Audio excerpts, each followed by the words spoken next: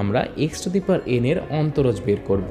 এখানে ফাংশনটা হচ্ছে, অর্থাৎ y equals to f of x equals to হচ্ছে x to the power n শেষ। তাহলে এখন আমার নেক্সট হচ্ছে আমার f of x plus h এর ভ্যালু বের করা। তাহলে f of x plus h এর ভ্যালু কত হবে? আমি এখানে এক্সের জায়গায় এক্স প্লাস এইচ দেব, অর্থাৎ x plus h whole to the power n শেষ। এটা হচ্ছে আমার f of x plus h এর ভ্যালু তাহলে এখন চলো আমরা ডিডিএক্স এর ভ্যালু বের করি, আমি সূত্র জানি d y d x equals to limit h tends to zero f of x plus h minus f of x divided by h এটা হচ্ছে আমার সেই মূল নিয়মের সূত্র। আচ্ছা তাহলে এখন আমি এখন ভ্যালু বসিয়ে দিই। Limit h tends to zero f of x plus h এর ভ্যালু হচ্ছে তোমার x plus h whole to the power n minus f of এক্সের ভ্যালু হচ্ছে x to the power n আচ্ছা এটা হলো ডিভাইডেড বাই থাকল এইচ আচ্ছা এখন কি করা যায়? দেখো, এখন আমি করব কি? তোমার এই ভিতরে তোমার এক্স কমন নেব। তাহলে limit h tends to zero ব্র্যাকেটের ভিতরে এক্স কমন নেব। তাহলে x into one plus h by x এইটার বাইরে whole to the power n আছে। Minus x to the power n divided by h, এটা থাকল। আচ্ছা তাহলে এখন দেখো, আমি যদি এখানে এই টু দি পাওয়ার এনটা ভাগ করে দিই, এখানে যেহেতু গুণ আকারে আছে, সূচকের নিয়মে আমি দুইটার উপরে আলাদা আলাদাভাবে টু দি পাওয়ার দিয়ে দিতে পারি। তাহলে এটা হলো limit h tends to zero, x to the power n into one plus h by x whole to the power n minus x to the power n divided by h. আচ্ছা দেখো তো, উপরে এখন দুটি পদের সাথে x to the power n আছে। তাহলে আমি x to the power n common নিতে পারি। তাহলে আমি এখানে কমন নিয়ে যদি বের করে দিই লিমিটের আগে বসিয়ে দিই, কেন? কারণ লিমিটটা হচ্ছে এইচ এর উপরে অ্যাপ্লাই করা হয়েছে। এখানে ভ্যারিয়েবল হচ্ছে এইচ এক্স না। তাই আমি বলতে পারি যে x to the power n বের হয়ে গেল আগে। তারপর থাকল হচ্ছে উপরে limit h tends to zero one plus h by x whole to the power n minus one যেহেতু আমি কমন নিয়েছি ডিভাইডেড বাই এইচ এটা থাকল। এখন আমাদের একটি বাইরে থেকে একটি সূত্রের সাহায্য নিতে হবে, যেটার নাম হচ্ছে বাইনোমিয়াল থিওরেম বা দ্বিপদী উপপাদ্য। সেই দ্বিপদী উপপাদ্যর সাহায্যে আমি এই one plus h by x whole to the power NK এখানে লিখতে পারি one plus plus h by x plus n into n into h by x plus n into n minus 1 divided by factorial 2 h by x whole square plus n into n minus 1 n minus 2 by factorial 3 h by x whole cube plus dot dot dot এরকম আকারে অসীম সংখ্যক সংখ্যায় পদে ভাগ করে লিখতে পারে দ্বিপদী উপপাদ্যের সাহায্যে। এটাকেই তোমার হচ্ছে বাইনোমিয়াল থিওরেম বা দ্বিপদী উপপাদ্য বলে। আচ্ছা তাহলে এই সূত্রটা যদি আমি এখন এখানে ব্যবহার করি, তাহলে দেখো তো এই সূত্রটা যদি জাস্ট আমি এখানে ব্যবহার করি, তাহলে ডিওয়াই ডিএক্স এর ভ্যালু কত হবে?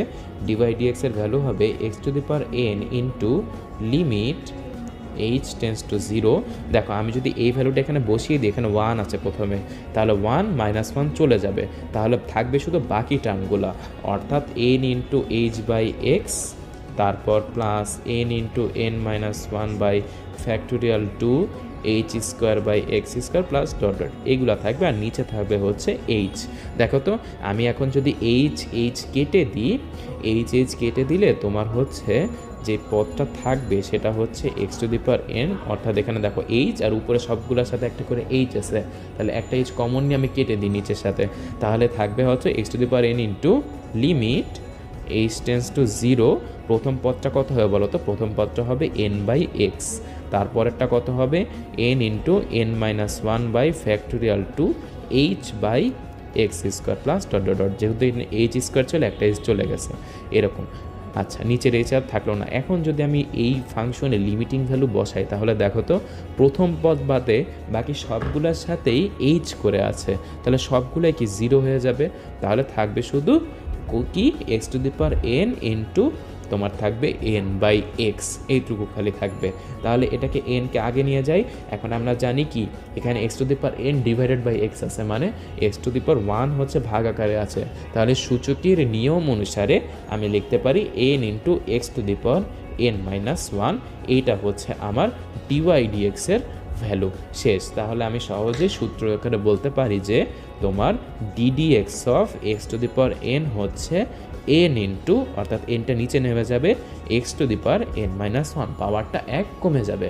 তাহলে তোমরা বলো তো, খুব সহজে আমি যদি বলি d d x of x cube এটা কত হবে?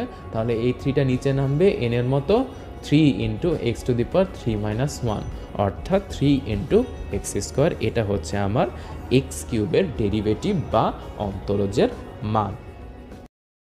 আমরা ই টু দি পাওয়ার এক্সের ডেরিভেটিভ বা অন্তরজ নির্ণয় করব। আচ্ছা তাহলে আমাদের এখানে প্রথমে y equals to f of x ফাংশনটা হচ্ছে আমার ই টু দি পাওয়ার এক্স আচ্ছা তাহলে আমার f of x plus h হচ্ছে ই টু দি পাওয়ার এক্সের জায়গায় আমি শুধুমাত্র এক্স প্লাস এইচ বসিয়ে দিলাম। আচ্ছা শেষ। এখন তাহলে আমি মূল নিয়মে অন্তরীকরণের যে সূত্র limit h tends to zero f of x plus h minus f of x divided by h এই সূত্র লিখলাম। আচ্ছা তাহলে এখন আমি এইখানে সব কিছুর মান বসিয়ে দিই। Limit h tends to zero f of x plus এইচের value হচ্ছে e to the power x plus h minus f of এক্সের ভ্যালু হচ্ছে e to the power x divided by h শেষ।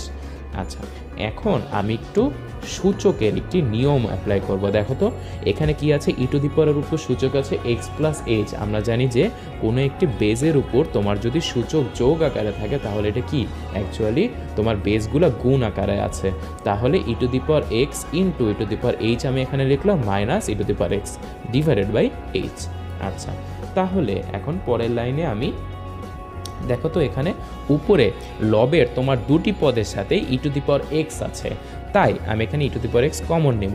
তাহলে কমন নিলে হবে e to the x common নিলে প্রথম পদ থেকে থাকবে ই টু দি এইচ দ্বিতীয় পদ থেকে থাকবে minus one divided by h এখানে। এখন দেখো, আমার লিমিট হচ্ছে এইচের উপর অ্যাপ্লাই করা আছে, অর্থাৎ এখানে এক্স ভ্যারিয়েবল না, এখানে ভ্যারিয়েবল হচ্ছে এইচ তাহলে আমি ই টু দি পাওয়ার এক্সটাকে লিমিটের আগে নিয়ে আসতে পারি, যেহেতু এর উপর কোনো লিমিট অ্যাপ্লাই হবে না।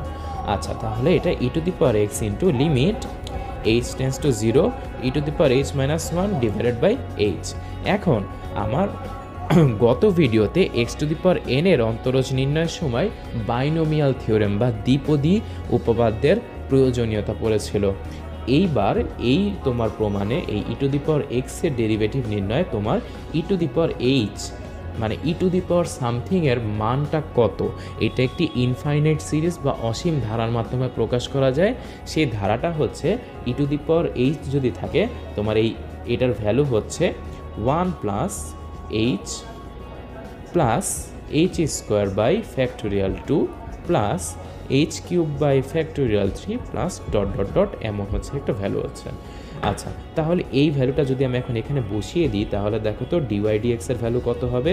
ডিওয়াই ডিএক্স এর ভ্যালু হবে e to the power x into limit h tends to zero one plus h plus h square by factorial two plus dot dot dot minus one divided by h আচ্ছা তাহলে এখন দেখো, এখানে one minus one চলে যায়। এক এক থেকে এক বিয়োগ করে চলে যায়। আচ্ছা তাহলে দেখো তো, উপরে প্রত্যেকটা পদে কি কি থাকে? এইচ থাকে, তারপর h square by factorial two থাকে, পরেরটাতে থাকবে h cube by factorial three তাহলে আমি, দেখো, প্রত্যেকটি পদের সাথে তোমার এইচ কমন আছে। তাহলে আমি উপর থেকে এইচ কমন নিতে পারি। তাহলে কমন নিলে e to the power x into limit h tends to zero h common নিলে তোমার থাকবে এইচ থেকে এইচ কমন নিলে থাকে ওয়ান প্লাস এইচ স্কোয়ার থেকে এইচ কমন নিলে থাকে শুধু h h by factorial two plus dot dot dot এগুলো থাকবে। ডিভাইডেড বাই এইচ এখন দেখো এই এইচ এই এইচ কাটাকাটি চলে যাচ্ছে। কাটাকাটি চলে যাওয়ার পর তুমি যদি এখন বাকি যে রাশিটা আছে one plus h by factorial two plus dot dot dot এই রাশির এখানে তুমি যদি লিমিট অ্যাপ্লাই করো, তাহলে দেখো এখান থেকে এইচ আছে, এখান থেকে পরবর্তী সবগুলো টার্মের সাথে এইচ আছে। সো তুমি প্রত্যেকটাতে যদি এইচ এর ভ্যালু লিমিটিং ভ্যালু বসিয়ে দাও, তাহলে দেখো এটা জিরো হয়, এটা জিরো হয়, প্রত্যেকটা ভ্যালু জিরো হয়ে যাবে। শুধু থাকবে ওয়ান তাহলে আমি লিখতে পারি এটা লিমিটিং ভ্যালু হচ্ছে e to the power x into one অর্থাৎ ই টু দি পাওয়ার এক্স তাহলে কি দাঁড়াল? দাঁড়াল যে তুমি যদি e to the power x ফাংশনটাকে differentiation করো বা এর ডেরিভেটিভ নির্ণয় করো, এর derivative e to the power x নিজেই হয়।